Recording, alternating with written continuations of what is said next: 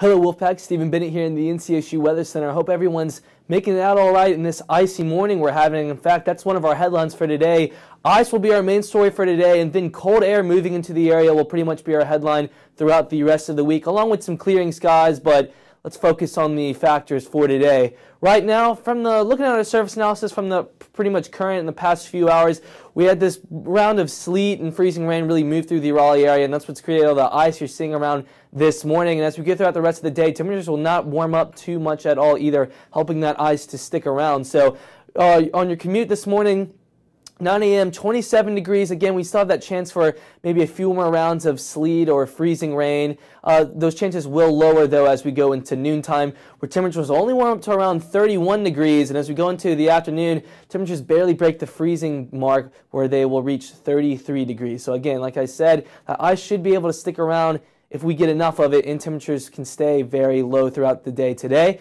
So for tonight, a low of around 24 degrees, partly cloudy skies, cold in general with winds out of the northwest from 5 to 10 miles an hour. And then if we take a look at our setup for tomorrow, all that moisture that we see that brought us that uh, sleet and freezing rain has moved off, but we have this another really cold, cold front pushing through our area, and that's even going to bring some of this moisture with it. And we have a slim chance for maybe a snow flurry or two tomorrow as we go into Wednesday. So definitely keep an eye out for that. I don't think it'll be anything major, but enough to just add a little dusting on top of any ice that will stick around into Wednesday.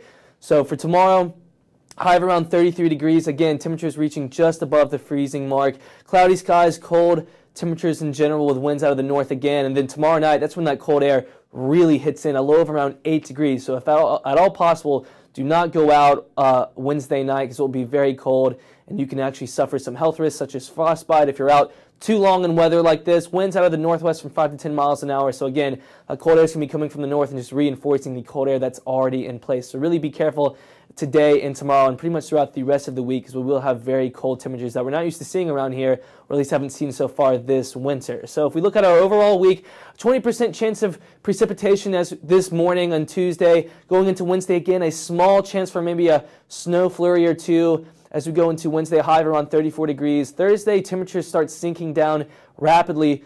Uh, high of around 22, low of around 6 degrees. Friday, high of 27. And then on Saturday, a high of around 41 degrees. Things warm up a little bit, but then again, the models are even calling for variability this weekend. So definitely keep an eye on NCSU weather, and we'll keep you updated for any weather that will happen this weekend as well. I'm Stephen Bennett here in the NCSU uh, Weather Center, and go pack.